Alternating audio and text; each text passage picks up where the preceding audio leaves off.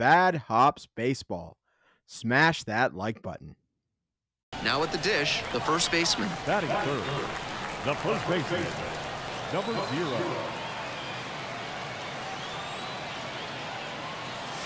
That's in there.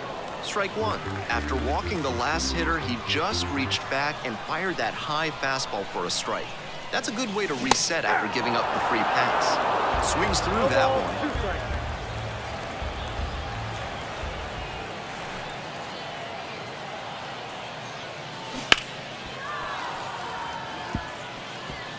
First and second here with nobody out.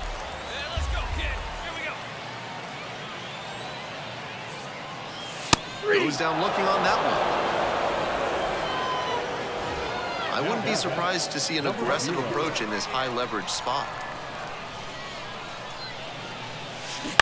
Right side and handles that one. Will do it alone.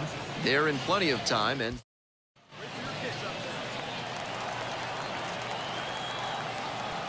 And the pitch. And he grounds it to the right side. Dives, but it kicks off the glove. Flip to the pitcher is in time. Keeps it together, and they get the out.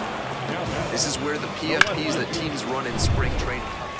The first baseman getting ready to hit 0 for 3 with two groundouts and a strikeout.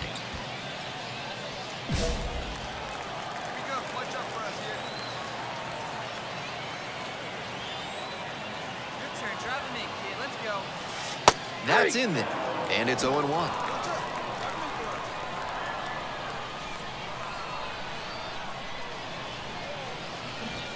Squares to bunt, but misses.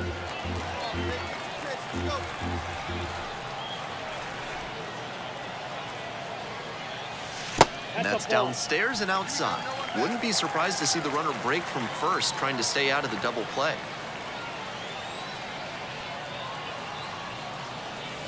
Wouldn't chase that time. Good job to let the low one go there.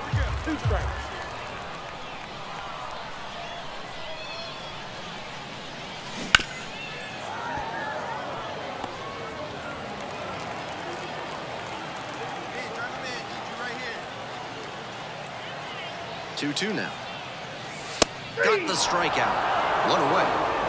And he must have been looking be a frustrating day. The team lost, and he had a game that he knows isn't up there with his best. Keep that from him. Bad Hops Baseball. Smash that like button.